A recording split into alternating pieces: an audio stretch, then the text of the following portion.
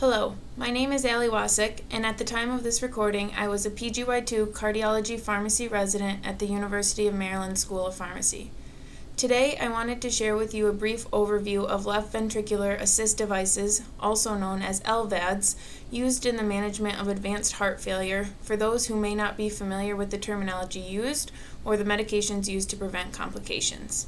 So, you may be asking yourself a few questions. What is an LVAD? A left ventricular assist device is a durable form of mechanical circulatory support that has become increasingly used as the number of patients with heart failure continues to rise and the number of available donor organs does not meet this need. Who may be a candidate? Well, according to the International Society for Heart and Lung Transplant, patients should be considered for LVAD if they have severe, unrecoverable left ventricular function an, a left ventricular ejection fraction of less than 25%, despite optimal medical therapy. These are patients whose advanced heart failure may be complicated by renal or hepatic dysfunction that is due to poor perfusion and or congestion. These same patients may or may not be dependent on inotrope therapy or other forms of temporary mechanical support to maintain end organ perfusion. And finally, why would we use these devices?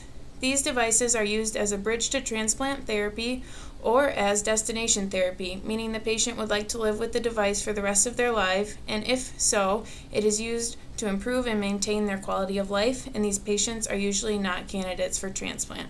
While a number of LVAD devices are in use, they all share the same basic concepts. The inflow cannula is inserted into the apex of the left ventricle. Blood then enters the pump and is delivered to the ascending aorta by means of the outflow cannula. This works in parallel to the native heart with the aortic valve opening based on intrinsic contraction of the heart. A drive line is connected to an external controller with battery packs the patient must have with them at all times.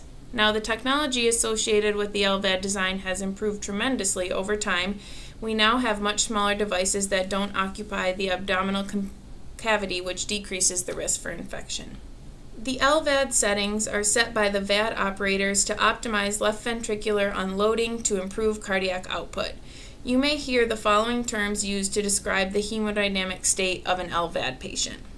Speed, in revolutions per minute, is the only parameter that the VAD operators have direct control over. A speed is chosen, is chosen at which the patient is not symptomatic with respect to their heart failure, while also allowing the aortic valve to open. This means that the native heart is also contributing to cardiac, cardiac output on top of what the VAD is supporting. Flow in liters per minute reflects cardiac output and can also be affected by systemic blood pressure and blood viscosity through the LVAD itself. Power in watts is the direct measurement of energy required by the device to pump blood at the set RPM.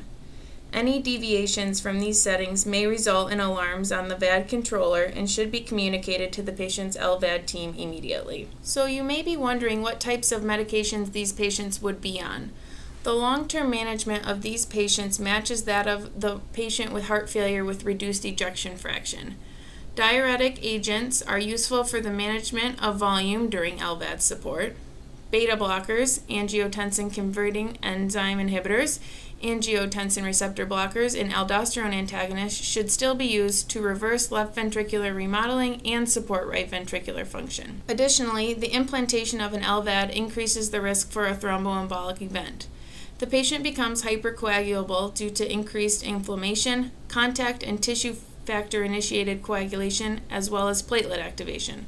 For this reason, warfarin is a mainstay of therapy with an INR goal of 2 to 3, and aspirin is used to prevent the platelet involvement in thrombus formation. Bleeding is the most common complication after LVAD implantation, with common sites early on being surgical site, and then more gastrointestinal bleeding with chronic management. Infections can affect post surgical patients, such as pneumonia or urinary tract, to just name a few but the more concerning infec- uh, infections affect the LVAD components itself, including the pump and the driveline.